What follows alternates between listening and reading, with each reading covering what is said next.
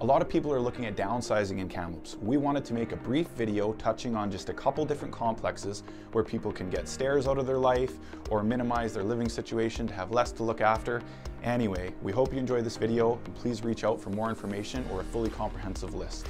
1775 McKinley Court and 1750 McKinley Court are two townhouse complexes centrally located between Spring Hill and Glen Eagles and Sahali. Every single unit in both developments has a garage with a combination of basement walk-ups and level entry units. All have direct access to trails, shopping, amenities, and buses. Just down the street at 1580 Spring Hill, there's a 40 unit complex that's adult oriented that has RV parking, a combination of great walkability to downtown as well as access to all the amenities in the Sahali area. Out in Valley View is Orchards Walk. There's a wide range of housing in Orchards Walk from townhouses to multiple different sizes of single family level entry homes as well as more supported housing in the residence. There you've got more care, including meals and a new pharmacy, as well as medical clinic and a daycare.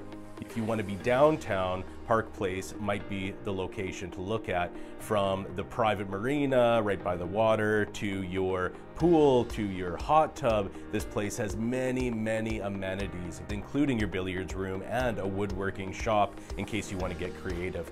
You're located right by the Marquess and the station, as well as Riverside Park and access to all the shopping that you can handle. Some other great options are on Kamloops North Shore. One complex called the Willows is located right across from North Hills Mall. The walkability is great with all the coffee shops, etc. on Tranquille. The complex has underground parking, a large recreation room with a full kitchen as well as exercise equipment. And these range, there are one and two bedroom units and it's an excellent option as well for those downsizing. Out in Brock, you'll find Blossom Park and Orchard Village side by side on 14th. These are ranchers that have garages, a large rec room for family get-togethers or meetings, etc. These are another great option if somebody's into having a little more space and not wanting to be in an apartment building.